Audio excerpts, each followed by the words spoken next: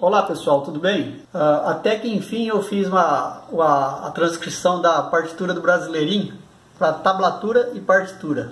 Olha que maravilha!